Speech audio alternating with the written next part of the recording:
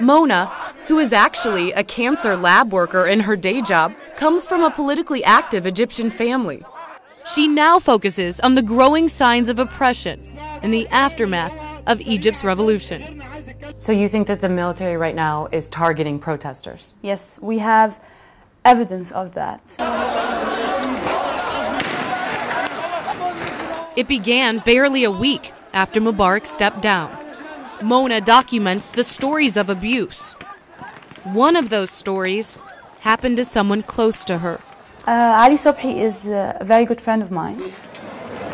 On March 9th, Ali Sobhi, a young actor, had gone to join a demonstration in the square. He heard that the sit in that was going on for over days in Tahrir Square was being dispersed by army and thugs. And by thugs, I mean uh, plainclothes people who were carrying um, like big sticks. And so he ran to check on his friends. Ali told us what happened. I was taken into the museum off the square, and the army cut off all of my hair. And then they beat me with different kinds of rods and sticks, and they kicked me repeatedly. So they used tasers on you? Yes, they used tasers. They put them on many people. It was going on for several hours. There were more than 150 people in the arrest. Mona helped lead a successful internet campaign pressuring the military to free Ali. Especially with the army violations and army torture cases, the internet is really sort of our only means.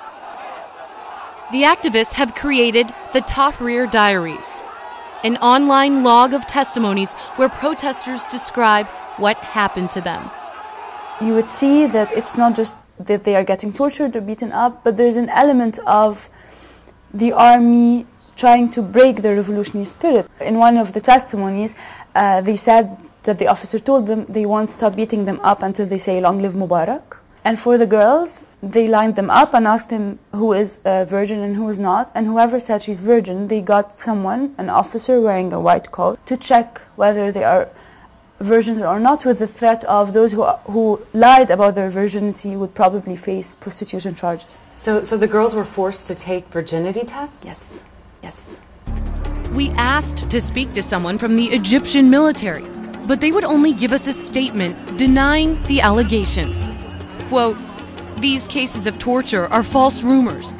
None of these accounts are true. We are in unstable times in Egypt. There are thugs loose.